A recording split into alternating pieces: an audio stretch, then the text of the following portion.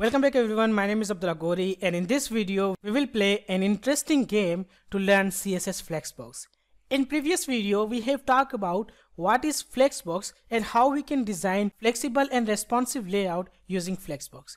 In this video we will play a game called Flex Froggy which will teach us how we can use Flexbox, how we can design the Flexbox, how we can use the different properties of Flexbox to make our responsive design. So first of all, you have to open up your browser. Depending upon you, you can open up any browser.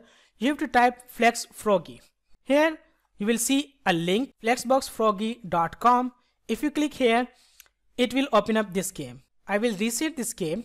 So let's start this game and try to complete all 24 levels right there and as in your assignment you also have to do so. You also have to play this game and you have to complete 24 levels so you can get a deep understanding of flexbox. So let's try to play and win this game.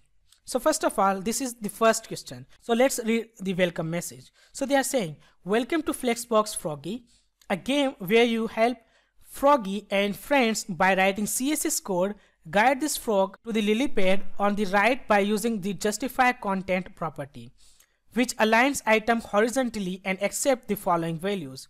So they are saying we have to use justify content property and these are the values that justify content property can accept.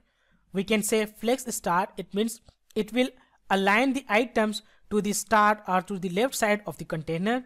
Flex end, items align to the right side of the container center item align at the center of the container, space between item display with equal spacing between them, space around item display with equal spacing around them. And we also have space evenly, item will get even space for left side and the right side. Now here they are giving us an example. So we can write this one. We have to say justify content.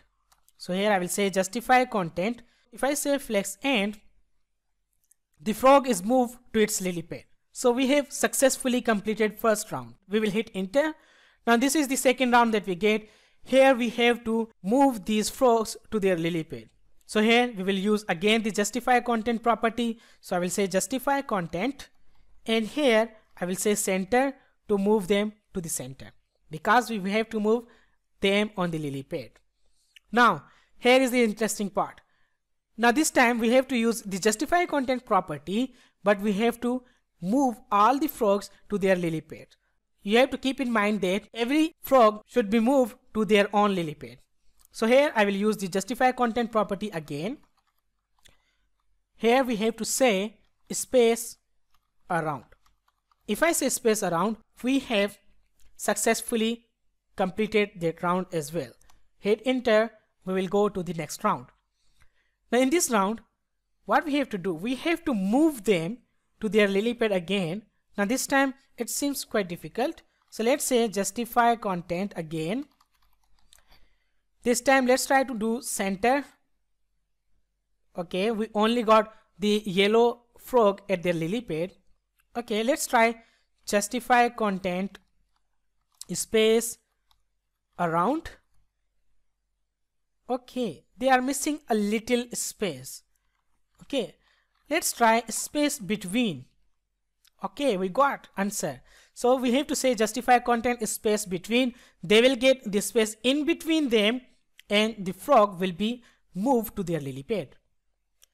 Okay now we have to use the align item property. So the align item property will help you to align the items vertically and the property will accept these arguments flex start, flex end, center, baseline and stretch.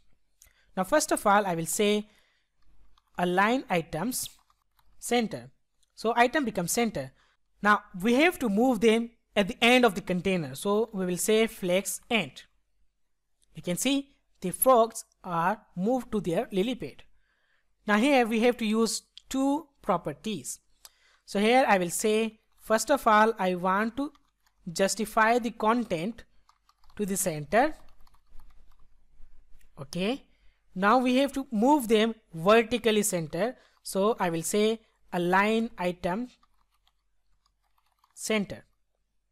We have successfully moved the frog to their lily pad. Okay, now this time we have to use two properties again. So here, first of all, I will say align the items to the flex end. Okay, this time we have to justify the content so they will have the space around. So we'll say justify content space around. So we have successfully passed this round as well. Now this time it introduces another property which is flex direction. So this property defines the direction of the items that will be placed and it accepts the following arguments or the properties or the values which is row, row reverse, column and column reverse. This time we have to say flex direction and let's try to say column. No, column will be in the column wise. So what we want, we want row. By default we have row, but we want the order should be in the reverse. So we'll say row reverse.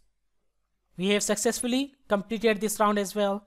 So here, the by default, we are getting them in the row, but we have to move them in a column wise. So we'll say the flex direction, change the flex direction to the column. So simple. Okay, now we have to put two properties here. The first property is flex direction. So if I say flex direction row reverse, they will be in the reverse row. Now I have to align these frogs horizontally. So I will use justify content property and I will say they should be in flex end. So because the flex is starting from the right hand side, the end will be on the left hand side. So that's why we have said flex end. Now here we have to use two properties again. So we will say flex direction column. Okay. Now see when we have the flex direction as column, this time justify content will not align them horizontally. Now this justify content will align them in vertical order. So here we can say justify content flex end. Okay. After that we have another the same scenario here. So we'll say flex direction column justify content space between so they will be moved to their lily pad. But this time we have moved all the frogs to lily pad but not to their lily pad. Now what we have to do? We just have to reverse the order of our flex direction. So we say flex direction column reverse. Hit enter, go to the next round. So we are on the 13th round and here we have to use justify content align item and flex direction. Okay, this become now a bit difficult. So first of all, I will say justify content center. They become center. I will say align item flex end. Okay. The last thing that I have to do is flex direction. So I will say flex direction should be row reverse. We have successfully completed this round as well. Now, we have to change the order. Now see, sometimes reversing the row or column order of a container is not enough. In these cases, we can apply the order property to individual items. By default, item have a value of 0, but we can use this property to also set it to a positive or negative integer value. So you can say 0, negative 2, negative 1, 1 or 2. So here we only need to say that order Now what we want to do, we are targeting the yellow class and we want to change its order to the right hand side. For that we have to say 1. Okay, when you want to move any item to the right hand side you will say 1 and if you say negative 1 they will be moved to the left hand side. So we are moving the yellow color to the right hand side. So we say order 1. Now this time we have to move the red color. So our red should be moved to the left hand side. So we will say order minus 1. We have successfully done this thing. This is so simple.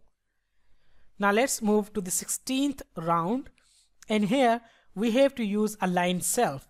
Align self accept the same values as align item but it will use to align the individual element or the individual item. So I will say align self and flex end. After that it will be on its lily pad. So here we have to use the combination of order and align self to help the frogs to their destination. Now how we can use them? So first of all, the first thing that we have to use, we have to say align self. Now we have to move them to the bottom. So we say flex end. We have did. Now the order should be 1. So they will move to the right hand side. So that's all that we have to do. Simple, but it is the game of the mind. Oh no, the frogs are all sequenced onto a single row of lily pad. Separate them out using the flex wrap property, which accept the following values. No wrap, every item is fit to a single line. Wrap, item wrap around the additional lines. Wrap reverse, item wrap around additional line in reverse order. So what we have to do, we have to say flex wrap. Wrap means when the space is completed, they will be moved to the next line. So we'll say flex wrap wrap. So if you say flex wrap wrap, the two extra item will be moved to the next line. Simple. Now this time we have to use flex direction and flex wrap. So first of all, you guess it right that we have to say we have to say flex direction. So what we have to do here? We have to change the direction as column. Great. Now flex wrap we want that the extra should be moved to the next lines. So here we can say flex wrap should be wrap. That's all that we have to do. We are about to complete this game. Only the 5 rounds are remaining. We are on the 20th round. If you haven't liked this video, do like it so it will help us to grow. Now, what we have to do here, the two properties flex direction and flex wrap are used so often together that the short property is flex flow was created to combine them. This shorthand property accepts the value of one of the two property separated by a space. For example, you can say flex flow row and wrap to set row and wrap them. Try flex flow to repeat the previous level. Now here we say flex flow. Now let me explain it first. In the flex flow, you can provide two values the first will be for the flex direction and the second for the flex wrap. So here what we have to do, the flex direction we want is column. So we say column. So they will be in column and then the flex wrap we want wrap. So we can say wrap. So in one line we can do the same thing of two lines. So this is the shorthand form. Now the frogs are separated all over the pond, but the lily pad are bunched at the top. You can use align content to set how multiple lines are separated apart from each other. This property takes the following values flex start, flex end, center, flex space between, space around and stretch. You know I don't need to explain what these values mean. You know now. So what we can do, we can use align content property here. So what we have to say, you guess it right, we have to say flex start. Now after that, we have to come here. Now the current has bunched the lily pad at the bottom. Use align content to guide the frogs there. So we say align content and flex end. So we have moved the frogs to their lily pads. Now the second last round is here. The frogs have had a party, but it is time to go home. Use a combination of flex direction and align content to get them to their lily pads. Now we have to use flex direction. First, the flex direction should be column.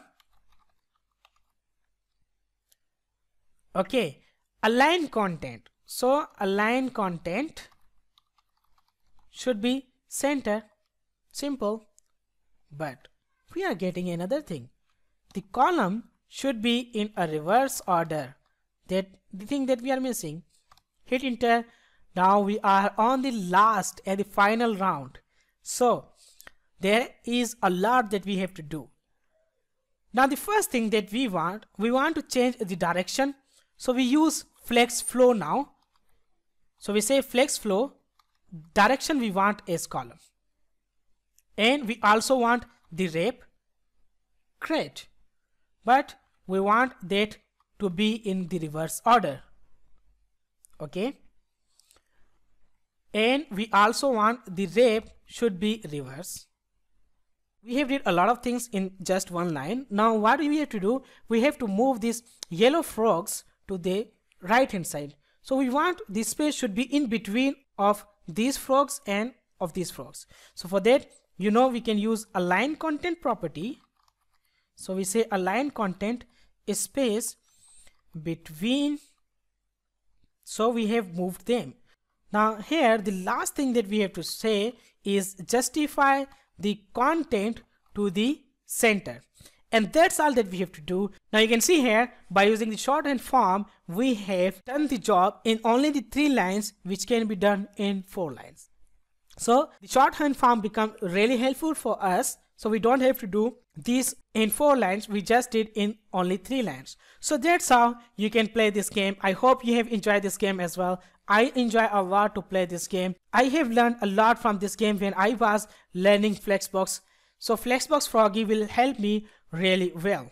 This game is really helpful for beginner to learn about Flexbox and the properties of Flexbox.